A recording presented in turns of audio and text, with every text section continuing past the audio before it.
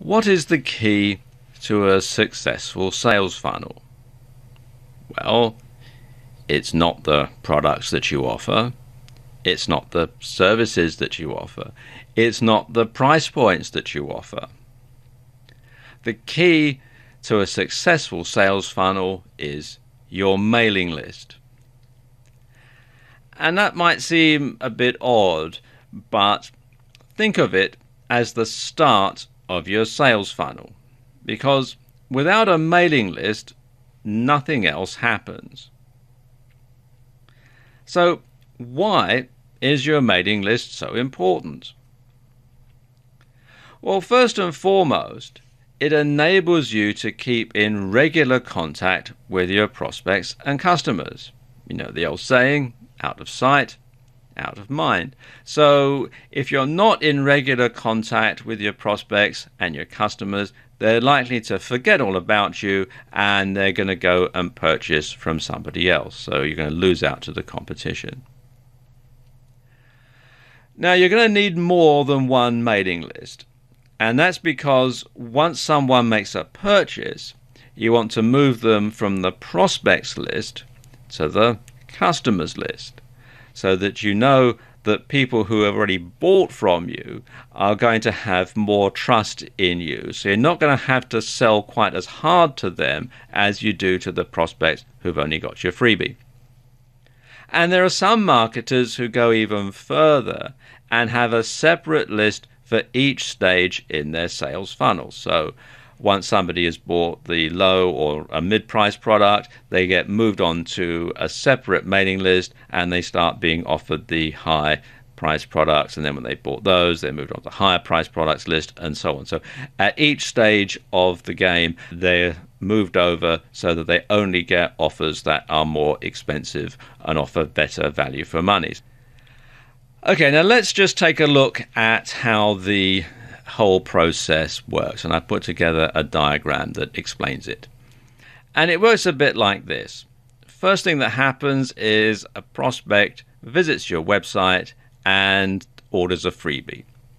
So they go to your squeeze page, as it's called, and uh, they get the information and they enter their name and their email address in. And that gets added to the mailing list. So then they get sent the download link to the freebie, and they've got the uh, freebie, and they should be happy. Then the prospect is sent lots of useful information. Now, this is part of the process that a lot of people get wrong. They think that all they have to do is keep hitting their mail list with sales information with sales things, you know, buy this, buy my product, buy this product, buy this affiliate product. And it turns people off. So, what you want to do is you want to make sure that people know that they're going to get a lot of information from you for free, in addition to the freebie that they've been sent. And exactly how often you send this out is going to depend on your niche, it's going to depend on how you operate. But as a a sort of um, a general rule. You want to send probably two or maybe three pieces of free information to your list for every one sales email that you send. So once that's done, your prospect is sent information about your low priced product. So you send that with the sales link. Now, if they buy and to be honest, most people won't buy on the first contact for an offer. You keep them on the prospect list and you send them information about affiliate products and other low price products until they actually make a purchase. And of course, you keep sending them all the useful information as well. So then you get to the point where the prospect actually does buy something. So when that happens, the customer, which is what they now are, is removed from the prospect list and added to the customer list. Now, some mailing systems will do this automatically, on others, you'll have to do it manually. It just depends uh, which system you're using. I'll talk a bit more about that in a moment. Then, of course, the customer gets sent useful information, same sort of rate. And of course, the customer then gets sent information about your high price products and also about affiliate products at the same sort of price range. And again, you just simply rinse and repeat all the way through your sales funnel. So this is an ongoing process that uh, keeps going on for every stage in the sales funnel that your prospect or customer is at. Now, the key to working your mail list and sending all these emails out are programs called autoresponders. And an autoresponder enables you to send automated emails to your list. So you don't have to email each customer or prospect individually, the software takes care of it for you. And you can set it up to send emails on certain dates or so many days after the last email, and you can also send one off emails to your list. And some popular autoresponder companies are Aweber, which you can find here at aweber.com, GetResponse, which you'll find here at getresponse.com, and MailChimp, which you'll find here at MailChimp.com. Now, each of them have different pricing structures and are slightly different in the way that they operate but the basic principle behind all of them is pretty much the same. Now, one thing that you'll need to decide at the beginning of your dealings with an autoresponder company is whether you want double or single opt in. Now, let me explain the difference between the two. With single opt in, the prospect gets added to your list without any verification. Now, you'll get more names on your list that way, but not all of them will be genuine. Some people will put in a fictitious name, a fictitious email address just to get your freebie. They don't want any follow up emails, so you don't know whether it's a genuine email. Also, it leaves you open to accusations of spamming because somebody might maliciously sign somebody else up to your list. They get hit with all sorts of emails from you that they haven't asked for, and then they complain, and you're branded a spammer, even though you're not, you're a legitimate business person, but you're going to be branded a spammer because this person has not asked for the uh, information to be sent. So these days, double opt in gets to be pretty much the default setting. And what happens with double opt in is the prospect gets sent an email with a confirmation link to click. So, confirm, then there are no further emails. And you don't get quite so many names because some people can't be bothered to confirm. But if you don't get any spam complaints either, because you know that it's a genuine address, you know that the person has uh, asked to receive the emails from you and has confirmed. And if they complain, you can go back with some systems and look it up and see, ah, well, you signed up on X date and you confirmed on Y date, so therefore it's not spam, and you can prove it. So that really sort of uh, covers your backside, so to speak. And as I said, double opt in is becoming the default settings for most autoresponder companies. In this video, I want to talk about traffic. Because generating traffic is the start of your sales funnel. Without traffic, nothing else happens. So you want to get people to your squeeze page to sign up for your freebie, sign up to your mailing list, and then everything else can flow from there. But if nobody actually comes to your page, if there's no traffic, it doesn't matter how good your products are, it doesn't matter how well thought out uh, your sales funnel is, nothing is going to happen. It's just going to simply wither and die. So let's talk about different ways that you can get traffic to your website. Perhaps one of the best ways, and certainly one of the most efficient ways of getting traffic to a squeeze page, is via solo ads. Now, the way solo ads work is you pay a list owner, another mailing list owner, someone in your same niche, to send an email to their list advertising your freebie. And then people go to your squeeze page and sign up. And this works because it's super targeted. The people on the list are going to be in your niche and they're going to be interested in your giveaway. It's probably the most cost effective form of advertising if you're just starting out. Now, if possible, and this isn't always possible because it depends on what type of uh, mailing list software the uh, person who owns the list that you're buying into uh, has got. But if possible, you want to try and split test your ad. So you want to have two different versions of your ad sent to selected portions of the list. And then you want to see which one converts the best.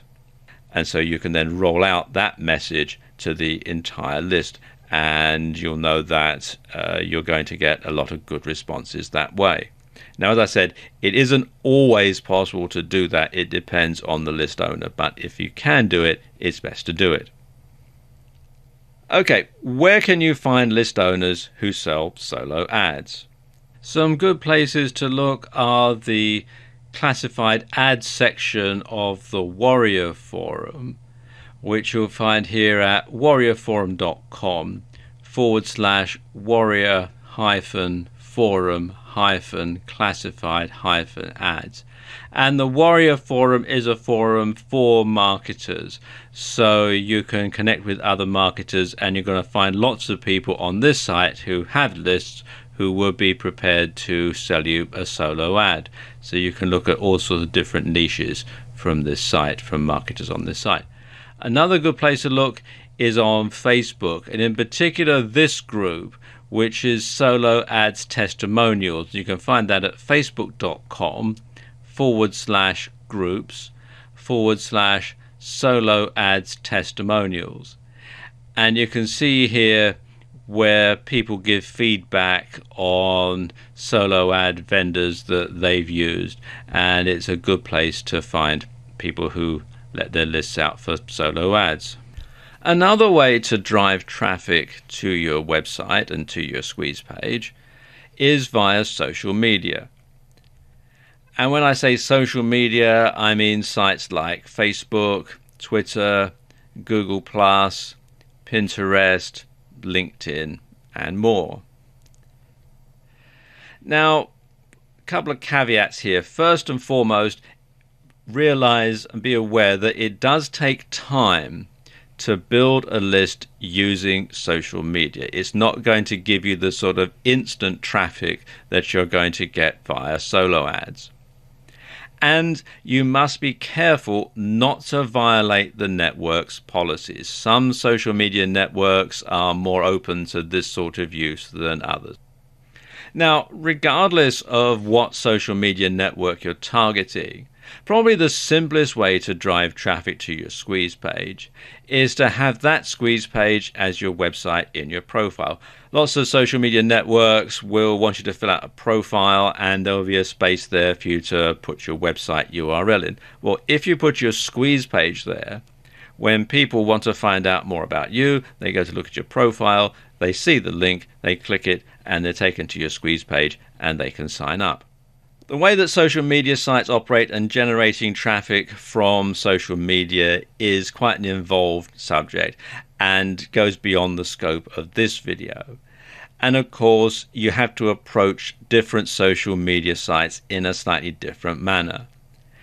However, there are some things that you can do on any social media site, like including the uh, link to your squeeze page in your profile, that are going to get you lots of profile views, that are going to get lots of people interested in you and curious about who you are and what you do and that sort of thing.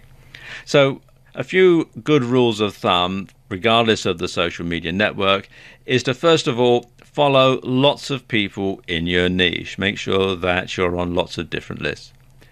And post great content to your social media site at least twice a day.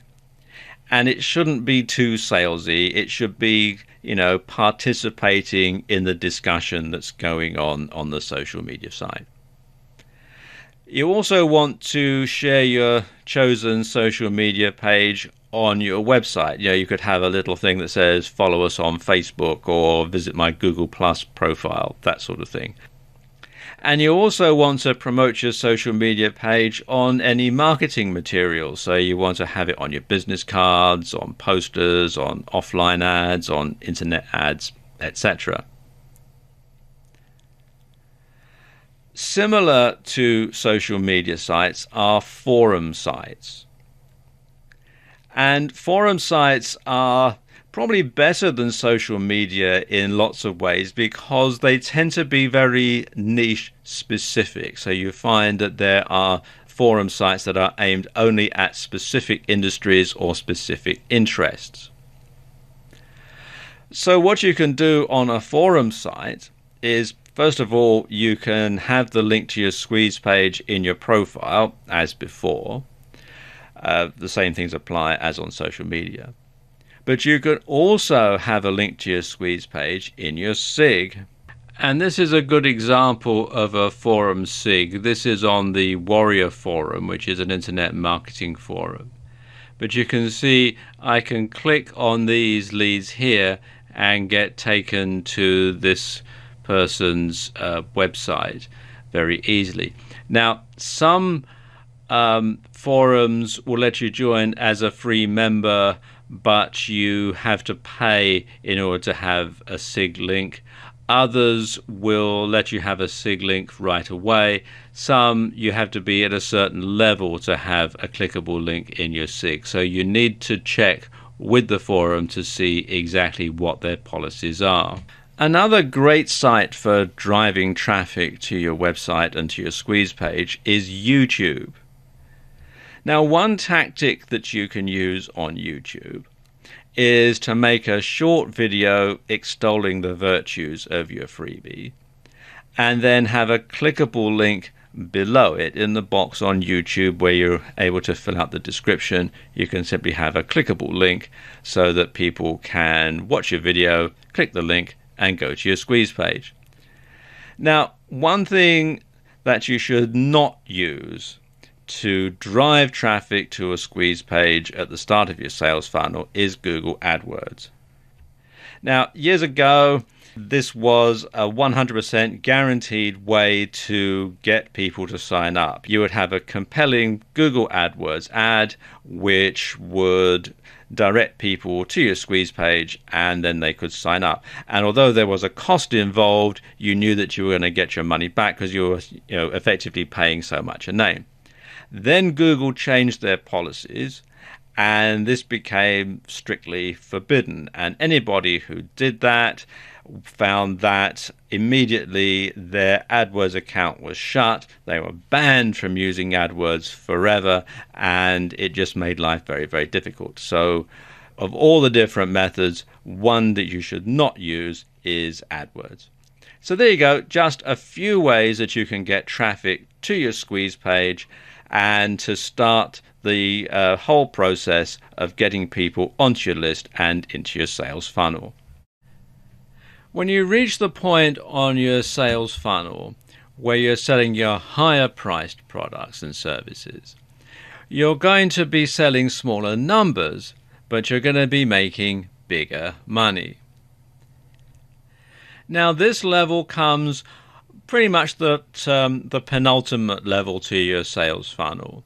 So people have downloaded your freebie, they've bought your lower priced, mid priced, and high priced items, and now you're going to offer them something that's quite expensive but is very, very good quality. And two types of products are popular at this level. One is telephone coaching, and the other is a masterclass. Now, telephone coaching can be one on one, or it can be group calls, or it can be a combination of both. So, for example, you might have a group call where you're speaking to a lot of different people on the call and then you open up the lines to have Q&A at the end of the call so that people can then ask you questions and everybody can hear the answer. Now, one thing that you want to do beforehand is to send out a questionnaire so that you can tailor the calls to suit the wants and needs of the participants. And then you structure the series of calls so that they follow an agenda and you can guide the participants towards achieving their goals. And something else you can do is you can record the calls and offer the recordings as a bonus. You can offer them for MP3 downloads, etc. Or you can offer this as a downsell to people who don't want to or who can't afford to participate in the calls themselves. Now, you won't sell as many of these as your other cheaper products. So make a virtue out of this by limiting the number of participants and creating scarcity. Now, there are lots of pros and cons to doing um, telephone coaching, and it's not for every niche. For example, if you're in the fitness niche, doing um, a telephone conferencing probably isn't going to be a good idea. But for a lot of niches, it is a very good thing to do. But let's just look at some of the pros and cons. Now, the pros. First of all, there's low overheads. It's just whatever it costs to hold the conference calls, and there are various services out there that uh, offer them, and you can also do them via Skype and uh, other methods that way. So there's very little financial outlay. It's just your time and your knowledge. Now let's look at the cons. First of all, it's time intensive. You have to tie yourself down to a specific number of dates and times. So you do have to schedule that into your diary, and that might intrude on other things. Then there are time zone problems because you're going to have to try and find a time that is acceptable to most of your customers when they're mostly going to be able to get on the call. And that can be difficult because, for example, if you're in a hobby niche, you might want to do the calls in the afternoon after people are home from work or in the evenings. And let's say you're in New York, well, it's going to be um, afternoon or evening there, but it's going to be during working hours in California and it's going to be during the middle of the night in Europe. So you're going to have problems there getting people uh, to be able to listen in. And finally, you must really know what you're talking about because you can't fake it when someone asks you a question in Q&A and you don't know the answer or you just waffle. So you really must know what you're talking about and if you're not an expert at the subject, then this isn't something that you want to get involved in. Now let's look at some resources that you can use for um, telephone coaching. Exactly what conference call provider you use is largely going to depend on what country you're in. So, my best advice would be to do a search in Google for conference calls, and you'll find there's lots and lots of different providers. And the features and prices vary, so it's a good idea to just simply go through and check them out and see which ones best meet your requirements. You can also do conference calls on Skype. They call them group calls. And of course, these are free and over the internet. And you can read more about it and download the software from Skype.com. Now, similar to telephone coaching, is holding a masterclass. And this can be approached in a similar way to telephone coaching, except that you deliver everything in one go. Now, like with telephone coaching, you can record the event, but this time on video, and you can offer it as a bonus or as a downsell. And just like over the phone, you can have Q&A afterwards. Now, just like with telephone coaching, there are some pros and cons to doing all this. The pros is, of course, its higher perceived value. People actually get to see you in the flesh. And you can get it all over in one go and you can hold several of these over the course of a year in different cities or countries. Uh, the cons, of course, well, there are much higher overheads. There's the venue costs, you've got travel costs, etc. Uh, there's limited capacity, so you need to make sure that you sell all of the places in order to turn a profit. And of course, it's harder to reschedule if something unexpected crops up. But regardless of which one you do, and there are others as well that you can have at this level, once again, you want to make sure that you offer overwhelmingly high value so that you over deliver so that people feel that they have definitely got their money's worth. You've now reached the expensive end of the funnel. Right down at the bottom here, people have downloaded your freebie, they've bought all your lower, mid range, high, and higher priced products or services, and now you've got a position where you can sell them something that's quite expensive. And most likely, this is going to be a service at this stage and one offered by you or perhaps by other people within your organization. And this can either be a one off or more profitably, it can be an ongoing service that you're going to offer on a continuous basis. And at this sort of level, the most popular offerings are one on one coaching or mentoring and consultancy. And coaching can be done either in person or over the phone, and you can offer email support too. And it's tailored specifically to the needs of the client. And it involves a lot of interactive two way communication. So if you're in a business niche, then people can telephone you or email you and get your advice on things that they're doing in their business, and you can coach or mentor them all the way through the process. Um, and if you're in the fitness or sports niche, this might mean offering your services as a personal trainer or as a coach to a professional athlete, that sort of thing. But you're going to charge a premium price because they're going to have your time exclusively for however long has been agreed. Now, if you're doing consulting, then you're generally going to be helping organizations to improve their performance rather than individuals. And what you'll do is you'll analyze the problems that the organization has and you'll draw up plans for improvement. You'll then work closely with them to implement the plans and you'll tweak the plans where necessary. Now, in either case, you might be paid on a per session basis an ongoing basis, or you might be paid a retainer. The overheads are low, it's just your time, and clients are paying a premium price for access to you, the expert. But even though now you've got somebody at the bottom part of your funnel, or at least one person or company, you shouldn't neglect the rest of it. You still need to keep this going as an ongoing process. So you still need to be getting people into the top of your sales funnel and generating traffic. You still need to be giving away your freebie and updating it from time to time.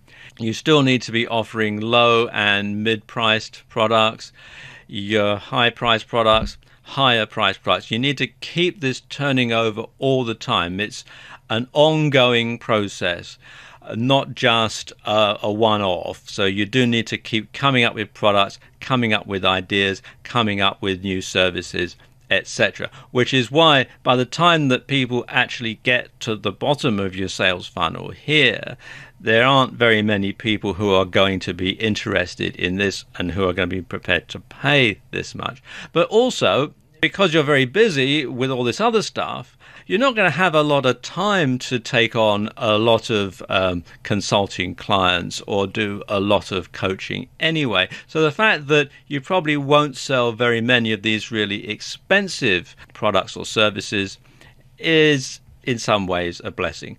But your whole sales funnel, as I said, is an ongoing process, and you just need to keep on the whole time through and keep bringing people in, keep it churning over and I wish you every success. Getting your low and mid range price products right is crucial to the success of your sales funnel.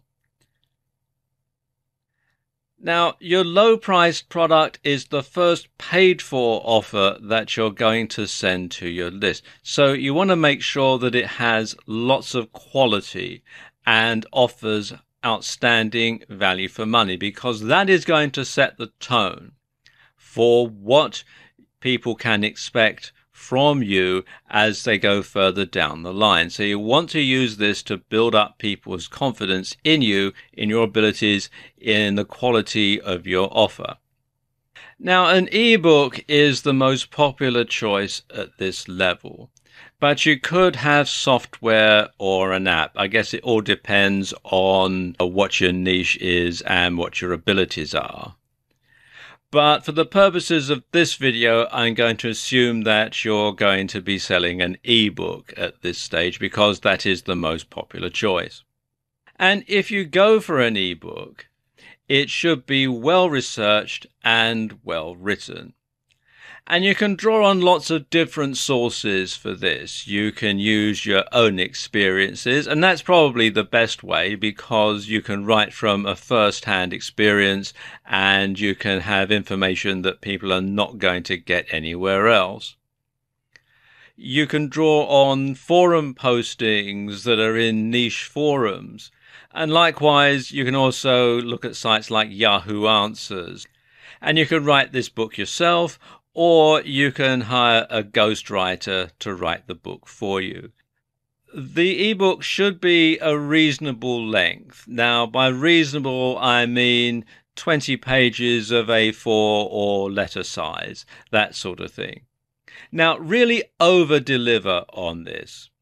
The idea is that you use this to showcase how good the rest of your products are and you want people to be pleasantly surprised at the quality of your information. So you want people to think, wow, this is really good. So that when you start sending them information about higher priced and more expensive products, they're going to think, gosh, if they can do this for such a low price, how much better is it going to be if I pay a bit more? That sort of thing. That's the sort of message that you want to send, albeit on a very subtle way. And you want to price it competitively so that people aren't put off by it being too cheap but you also want to make sure that it's low enough so that buying it is a no-brainer for your customers. You know, sometimes if your price is too low, people will think, "Oh, it's going to be rubbish. I won't bother." But a high price can also put people off. So if you sell it for something like, you know, 9.95 or something similar, then that's a pretty good price because most people don't think too much about spending $10 or under $10 on a product. Now, you're not looking to make much of a profit here, just enough to cover your expenses and break even. You know, profit is going to come further down the sales funnel. Now, let's just take a look at some resources that you can use for creating your ebook. If you're going to write your ebook yourself, then some good software to get is either OpenOffice from openoffice.org or LibreOffice from LibreOffice.org.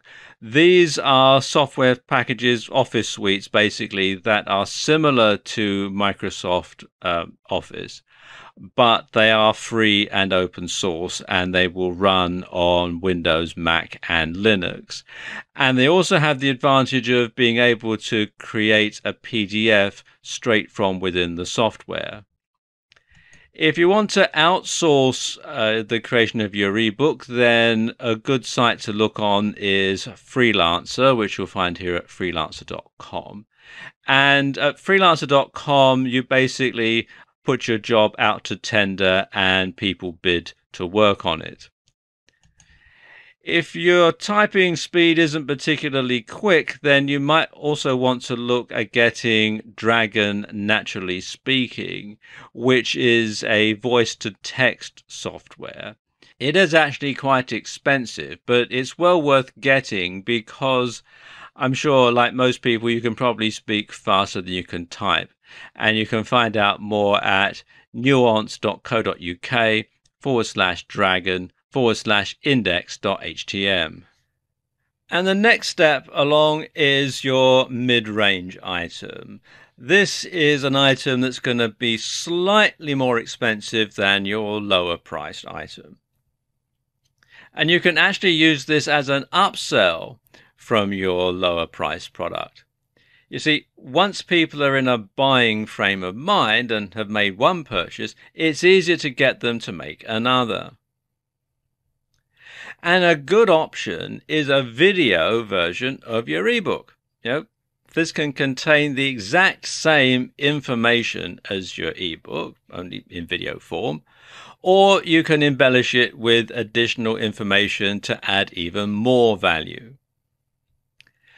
And if you're in the software niche, for example, you can write an instruction manual for a particular piece of software and then do a video demonstrating how it all works. Now, people will watch the video to see what to do, but they'll keep the ebook handy to refer to as they use the software because you have to watch a video from the beginning to the end, but you can flip through a manual or scale through an ebook in order to find the bit of information that you want. So people can watch the video, see how it's done, and then when they try it and perhaps it doesn't work properly, they can go back to the manual to easily find the information that they want. And the two can work together that way. Now, your videos should have fairly low production values. Graphics and a voiceover, screen capture and a voiceover, or a combination of both. Now let's just look at some resources that you can use to make your videos. Some of these are free, some you have to pay for, uh, but they're all ones that I've actually used personally. Some good resources for creating videos, especially uh, graphics and voiceover videos, are OpenOffice, which is openoffice.org, and LibreOffice, which is libreoffice.org, like we were discussing earlier. And I actually use LibreOffice Impress to make the slides in this video. Or, of course, if you want the granddaddy of them all, you can get a subscription to Microsoft PowerPoint, which you can find out more about at products.office.com to record the videos, probably the best screen capture software out there is Camtasia. Now, Camtasia will allow you to record from PowerPoint. It will allow you to record the screen if you're making a screen capture video. Um, I'm using Camtasia to make this video. Um, it's not particularly cheap, but there is a 30 day free trial at the time that I'm making this video, which means you have enough time to download the free trial version and it's fully working and unrestricted, and make your video, put together your product, sell it, and make enough money to actually buy the full version of Camtasia. So it is actually quite a good deal that way.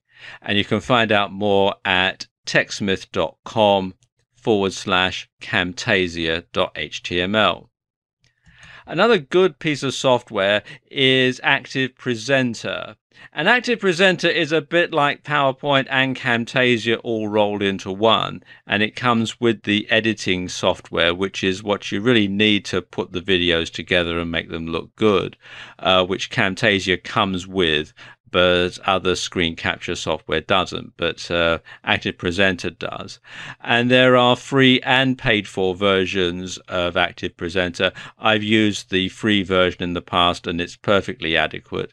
And you can read more about it at atomisystems.com forward slash Active Presenter. Of course, you can always outsource the making of your video to a professional, and you can find them on freelancer.com, like we were talking about earlier, or on the Warriors for Hire section of the Warrior Forum. And you can find that at warriorforum.com forward slash warriors hyphen hire. Now, with both your low and mid range products, offer a guarantee to remove the risk from the customer. And the longer the better. Yep. Paradoxically, the longer the guarantee, the less likely you'll be asked for a refund.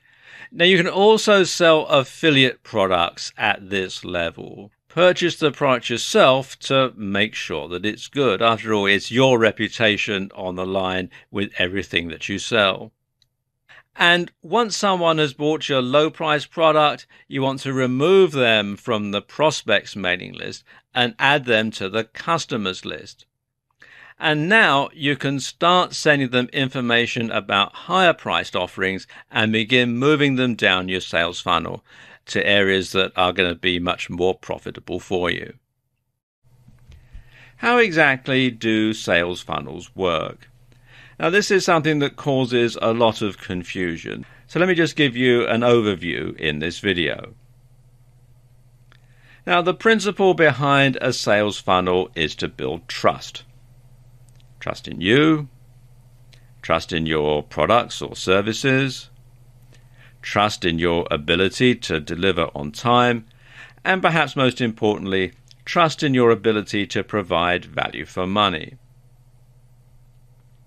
Now let's just take a look at a typical sales funnel. You're going to start off at the top of the sales funnel with a freebie, a free giveaway to get people to sign up to your mailing list. Then you're going to sell them a lower priced item, then a mid range item, then a high priced item, a higher priced item, and then finally a very expensive item or an expensive service. So as the people go down the sales funnel, they build more and more trust in you, they're more and more likely to move up to the next level, and you can sell them more and more expensive things, expensive items, expensive products, expensive services, that sort of thing. Now let's look at how this works in some detail. Um, for the purposes of this video, I'm going to assume that you're in the internet marketing niche, but it's just for illustration so that I can give you some practical examples. In reality, what I'm going to tell you can and does work in every niche. And it works for goods or services, but it works best with a combination of both. Okay, let's look at the top of the funnel, your freebie. Now, your freebie is usually a free report or an ebook. And you use this as an incentive to get people to sign up for your mailing list. So people come to your website, uh, they sign up, and they get this free ebook or this free report, and uh, that's got them on your list and into your funnel. Now, it must be high quality, and this is something very important when you're first starting out and you want to make sure that everything that you provide is of the highest quality. So it must be high quality, and it should be something that you could command a good price for if it was sold. So it's something that has a high perceived value, something that's worth money, but you're giving it away for free and it should contain useful information that your customer can start to use right away. Something else that you can also do with your free report is to include a clickable link to your website and giveaway rights to it. And that way, if people share it, then the report can also be a useful traffic generator because people will see the free report you've given away, they'll see the link to your website in the back of it, and through curiosity, then they come and visit your site.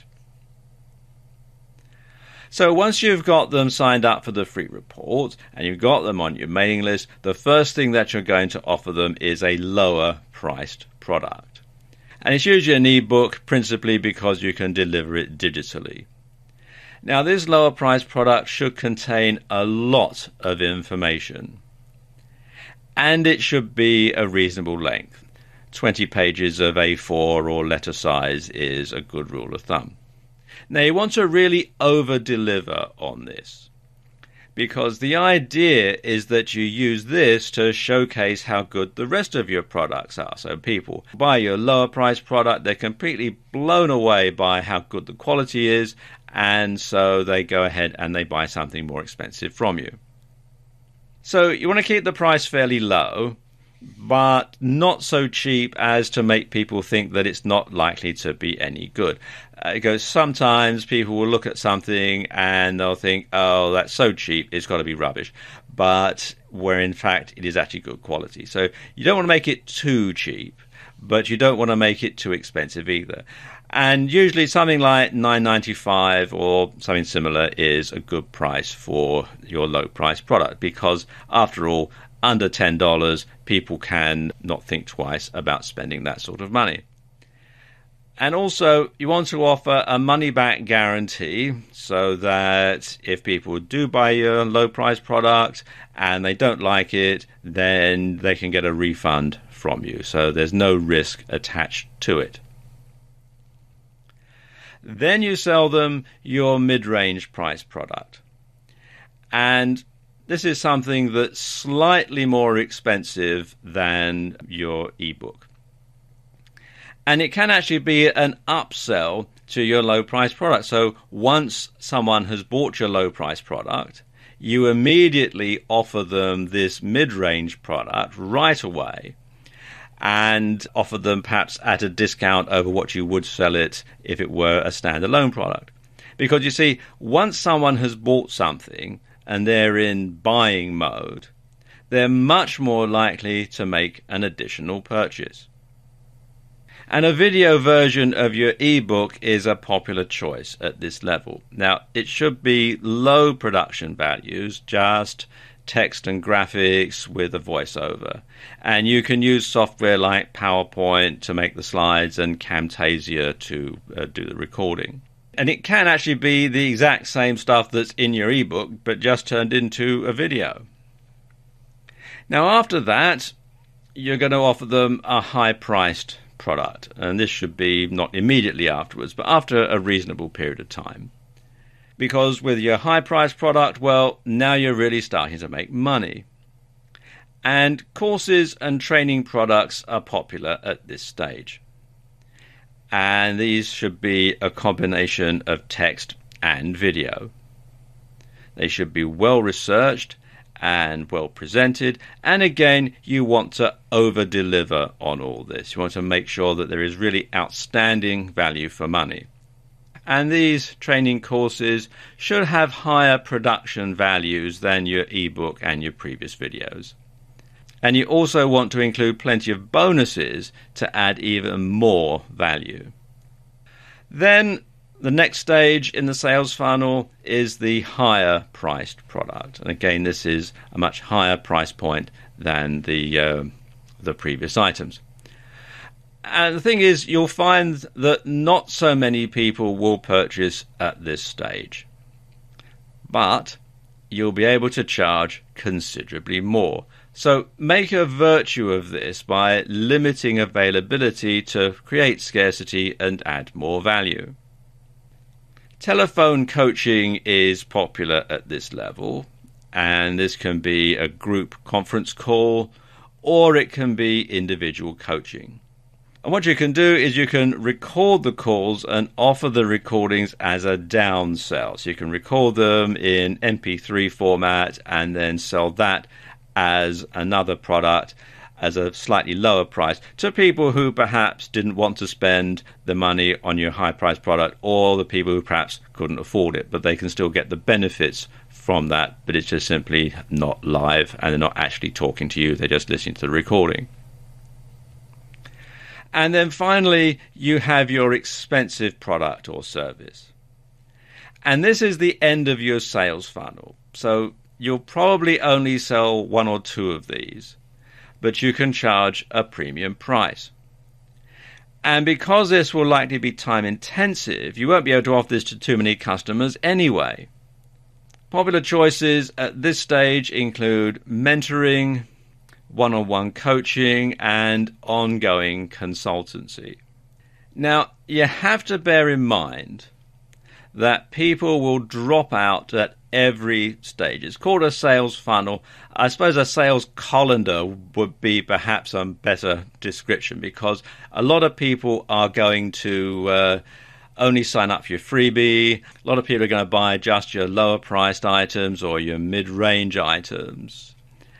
So you may find that you hit a plateau. You may find that nobody is going to buy your more expensive stuff. So you might find that you've got a good market just selling the uh, lower and mid-range price items, which is fine. You know then that you can keep churning out these products, keep churning out these services for that particular market over and over again all day long. So your sales funnel will build, and as it goes along, you can put your prices up and start to make even more and more money. And basically, that's how a sales funnel works. Now, let's just take a look at a typical sales funnel. You're going to start off at the top of the sales funnel with a freebie, a free giveaway to get people to sign up to your mailing list. Then you're going to sell them a lower priced item, then a mid range item, then a high priced item, a higher priced item, and then finally a very expensive item or an expensive service. So as the people go down the sales funnel, they build more and more trust in you, they're more and more likely to move up to the next level, and you can sell them more and more expensive things, expensive items, expensive products, expensive services, that sort of thing. Okay, let's look at the top of the funnel, your freebie. Now, your freebie is usually a free report or an ebook. And you use this as an incentive to get people to sign up for your mailing list. In this video, I'm going to talk about your free giveaway, or often known as your freebie. And your freebie is the first rung in your sales funnel, the first part of your sales funnel, the thing that you're going to use to entice people to sign up to your mailing list so that you can send them information and send them information about your paid for products and services. A free report is the most popular giveaway, and that's what I'm going to be mainly concentrating on in this video. But you can also give away an app or a screensaver. If you do that, if you do give away some sort of software, then just make sure that the file size isn't so large that it uses up all of your bandwidth. Regardless of what you use, there is going to be some sort of investment uh, that you're not going to recoup right away. So you want to keep the cost down, but think of it more as a loss leader than an expense. Now, if you do give away a free report, the report should contain a lot of useful information that the prospect can use right away. So make sure this information is up to date. And the report should be good quality and it should be well written. So if you're not confident of your own abilities as a writer, then you should hire a ghostwriter to write the report for you and the report should be of sufficient quality that you should be able to charge at least $9.95 for it if it were to be sold. Now, of course, in order to make sure that your report is up to date, you want to make sure you have a lot of information to go in it. So, where do you find this information? Well, of course, probably the best source of information for your free report are your own experiences. And that guarantees that the report will be unique. But if it's in a niche that you're not overly familiar with, there are some other sources of information. Forum sites are a good place to look. When you look at the sort of questions that people are asking on forum sites, the sort of discussions that are going on, you can often glean a lot of information from those.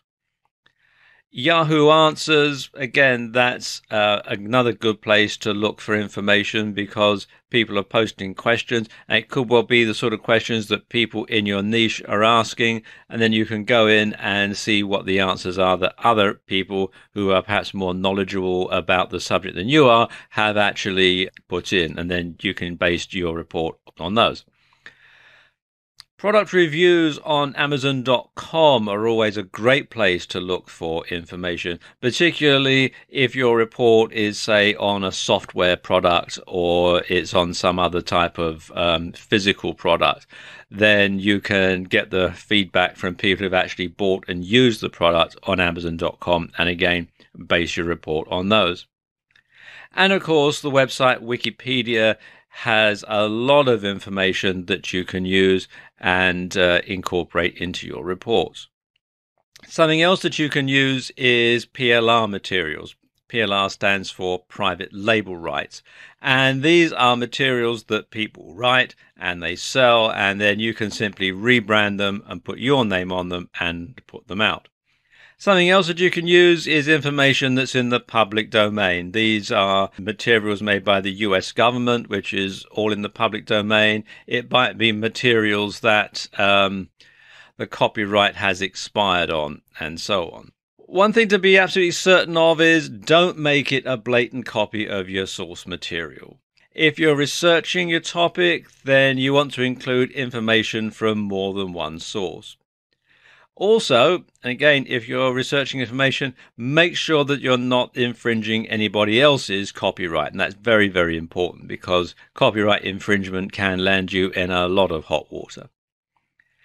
And finally, you should rewrite the report in your own writing style. Especially quite often by PLR materials, you'll find that they're written by people for whom English isn't their first language. So you'll find there's lots of typos and rather odd language in it and spelling mistakes and all sorts of other stuff. So you want to make sure that it gets rewritten in your own writing style. And you also want to make sure that the spelling is consistent throughout. You don't want to have US English in part of it and British English in another part of it. You want to make sure that it's the same all the way through. Now, PDF, which is Adobe Acrobat format, is the most popular format for these giveaway reports. And there are a number of reasons for this. First and foremost, it ensures that your report can be read on a wide variety of devices and operating systems. So, what you want to do is include a download link in the first email that gets sent by your autoresponder. Now, one way to save your document as a PDF is to create it in LibreOffice or OpenOffice Writer. And this is a free open source software package. And it's similar to Microsoft Word, but it does allow you to save directly as a PDF straight from here in the toolbar. Now, I know that there are some versions of Microsoft Word that will let you save as a PDF now, um, especially the subscription versions, but this is free and you can download it from openoffice.org for OpenOffice and LibreOffice.org for LibreOffice. And these software packages are both free and open source, and they have versions for Windows, Mac, Linux, and so on. Something else that you can do is to include a clickable link to your website and give away rights with your report. Now, what this means is that whoever downloads your report is free to give it away to whomsoever they choose, provided that it's not altered. And this way, if people share it, the report can also be a useful traffic generator. Now, in order to make this work properly, you'll need to update and change your report from time to time. So after, you know, 500 or 1000 people have downloaded your report, then you'll want to write a new report and put it up on your squeeze page. So anybody who gets the old report and clicks the link and goes to the squeeze page will not see the same report that they've just got. In this video, I want to give you the basics on creating your squeeze page.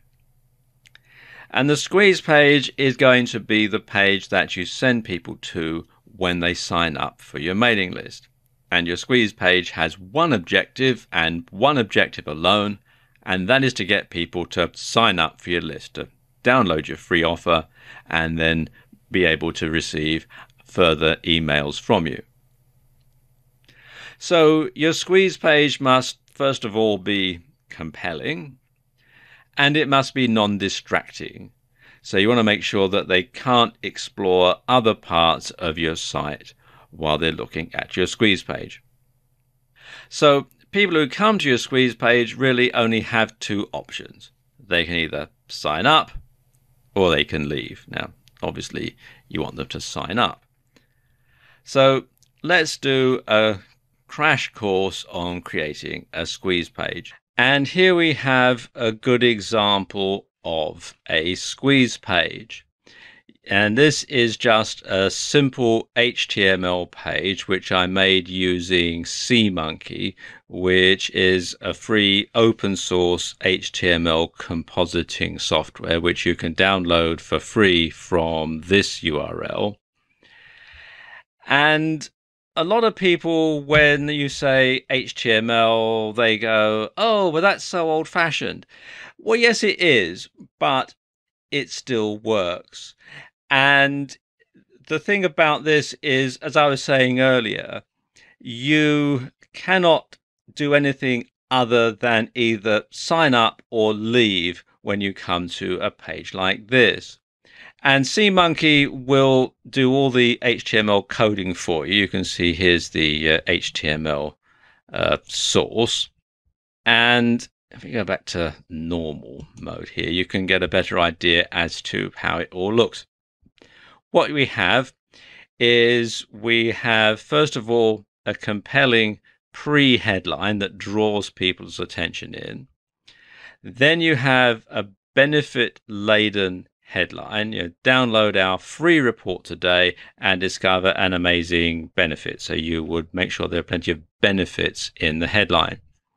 Then you have three columns here over here on the far left hand side, you're going to have a graphic about your free report, or if you're giving away software, you might have a software box here. But it's something to grab the viewer's attention, something that uh, they're going to look at. In the middle column, you're going to list the benefits to the uh, prospect if they download their report. So it says here, in this amazing report, you'll discover, and then you list the benefits as bullet points, as many as you can think of. Then over here in the third column, over here on the right hand side, we have the instructions that tell people what to do. Just enter your first name and primary email address in the box below, and our fact filled free report will be on its way to you. Then you have the sign up box and you'll get the code for this. Let's just go back to HTML code again. You'll get the code for this from your autoresponder company and you can just simply copy and paste it in. When you use SeaMonkey, it is actually very easy to do. Just go back to normal again. And then you need to have something enticing on the send button. Don't just have submit because that's a bit boring. So what I've got on this one is send me my report. So people will fill out their first name, their email address and click send me my report and then their report will be sent to them or rather they'll be added to the email list. They'll be sent the confirmation email and then once they've confirmed they'll get another email that has the download link uh, for their free report. In addition to sending your prospects to a squeeze page, you can also use a pop up to get your sign up box right in front of your prospect. Now, pop ups have a bit of a bad reputation. A few years ago, you used to get lots of pop ups on websites, so much so that um, browser developers like Microsoft or like um, Thunderbird, Mozilla, all programmed their internet browsers so that you could block out pop ups. But particularly if you have a WordPress site, there are some ways around that, and you can use a plugin to make an unblockable pop up. And these unblockable pop-ups are better known as popovers, and you can install them from within the WordPress dashboard. Just go to plugins and then add new, and then do a search here for popover. And you'll see there are a number of different ones here that you can get. And what these will do, they'll basically cover the screen when somebody comes to your WordPress blog with a version of your squeeze page and it lets people simply enter their details there. And because it covers the screen, uh, you're not going to get any distractions. And again, people will have the option to either enter their details or leave. There is a lot of confusion around sales funnels, and I want to help clarify that in this video. First of all, a question that lots of people ask is why is it necessary to build a sales funnel in the first place? Surely, if you want to sell high priced products, you just sell them, right? Wrong. Well, it's true that in the offline world, you can go ahead and sell expensive stuff right off the bat. You know, for example, if you run a Bentley dealership, you wouldn't expect someone to buy a Toyota from you first and then trade up. But in the online world, things are different. Unfortunately, there is a tremendous lack of trust online. And it's not surprising. You know, some online traders are sadly less than honest. And online, it's easy to deceive. For example, your website might give people the impression that your business is a large operation run from slick offices in the heart of the city, when in reality, you're just some guy who lives in a downmarket neighborhood and works out of his spare bedroom. But of course, your website might give a completely different impression. And to put it bluntly, most people you deal with online for the first time are going to assume that you're a crook until you've proved otherwise. And a sales funnel enables you to do this. With a sales funnel, you can establish that you're a real business, you provide quality goods or services, you deliver on time, and perhaps most importantly, that the customer is going to see value for money. And when people know and trust you, it's easier to make sales. And I've heard it said that people will want five points of contact with you before they'll really trust you. But when they do trust you, they'll know that you're not a crook. They'll know the quality of your goods and services. And they'll know that you know what you're talking about. And this is where a sales funnel comes in. You start by giving away something for free. You then sell them something inexpensive, then something more expensive, then something even more expensive, and so on all the way along. And once someone has bought a cheap item from you and is happy with it, they're more likely to purchase a more expensive item from you. It's just human nature. Or to put it another way, it builds confidence and trust in you, trust in your business, and trust in your brand. When you reach the high priced product level of your sales funnel, this is where you start to make some serious money.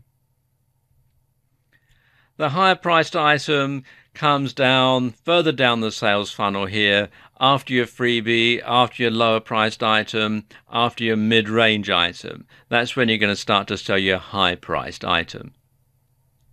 And in a way, things start to get easier at this level because you have customers who know you and are starting to trust you. And if you've over delivered on value with your low and mid range products, then people will know what to expect. There are two types of products that are popular at this level training courses and software or apps. Now let's look at training courses when you have your training course, you want to have higher production values than your ebook and other videos. That means something like having a presenter talking to camera in the video part and music at the beginning and end of each video, 3D graphics, etc. Something that shows that you have actually spent some money in making this product. Now, your courses should be text and video based and the text and the video should work together. So, for example, you could have video lessons with a workbook or a reference manual, and the whole thing ties together. Now, you can research and create these courses yourself, or you can rework PLR or public domain materials. So you can do all that yourself, or you can outsource it to a professional. Now, when it comes to delivering your courses, you do have a couple of options.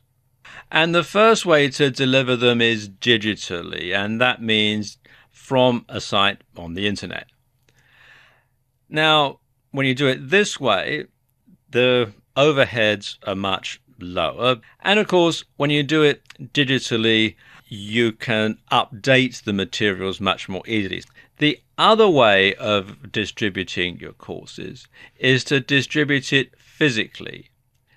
And physical products have a higher perceived value than digital products. People think that because they've actually got something that they can physically hold in their hands, it's worth more than just something that they see on their computer screen, even though it contains the exact same amount of information. So, correspondingly, you can charge more. If you're going to distribute your course digitally, then a good platform to put it on is Moodle. Moodle is actually used by a large number of colleges and universities throughout the world for um, distributing courses. So it is actually very highly recommended.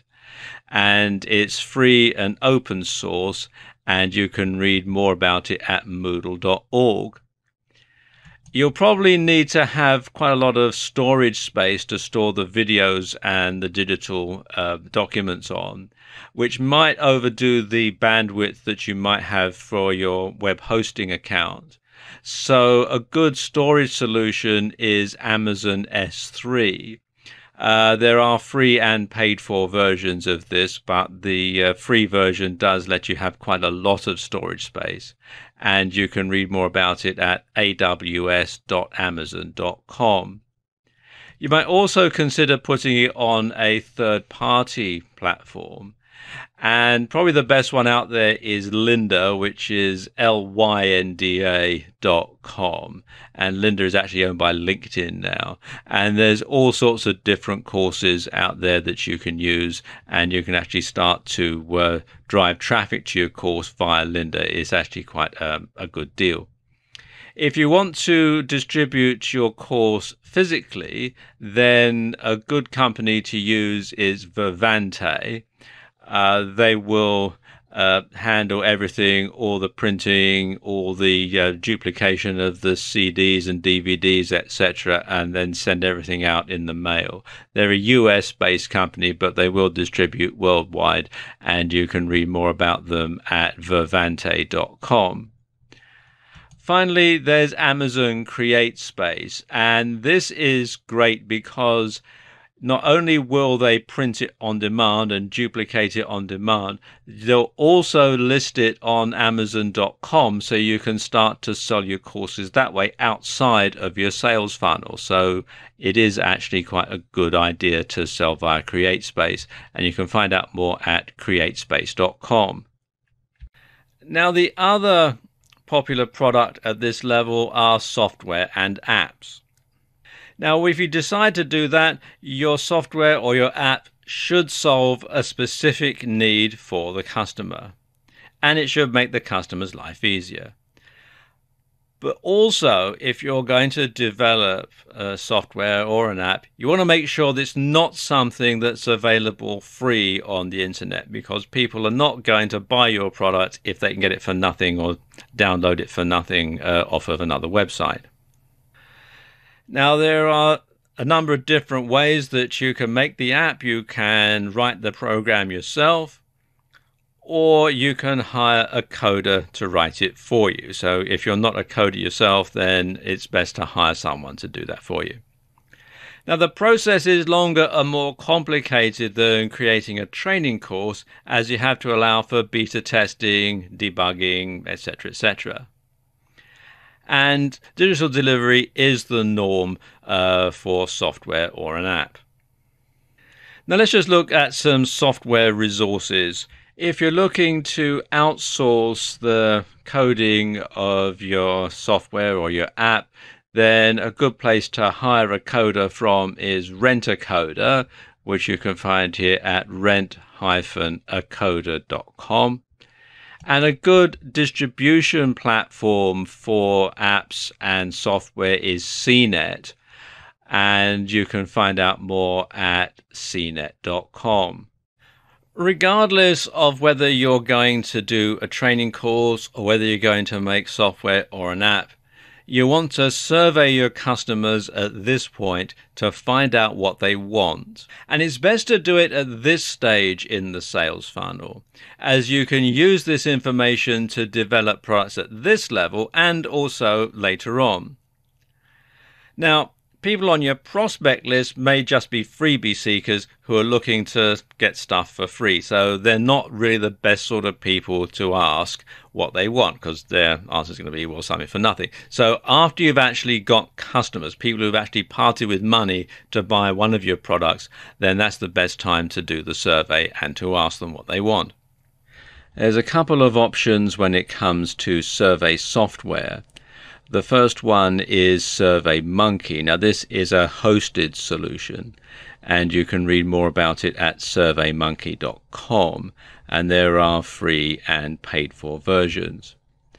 Another option is Lime Survey, and this is a free open source solution that you host on your own server. And if your hosting package comes with Fantastico or Softaculous, you may be able to install this from within cPanel. Otherwise, you can download the software from limesurvey.org and install it manually. It's actually quite straightforward. At this stage in the funnel, products can be yours or they can be affiliate products. If you sell an affiliate product, Purchase it yourself first to make sure it's good and to see what the sales process is like. You'll also be added to the affiliate product manufacturer's sales funnel, which can give you some insight into ways to improve yours.